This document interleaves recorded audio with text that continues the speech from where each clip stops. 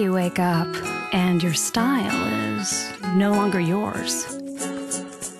That's the day to go to Cost Cutters. From cuts to color to professional hair care products.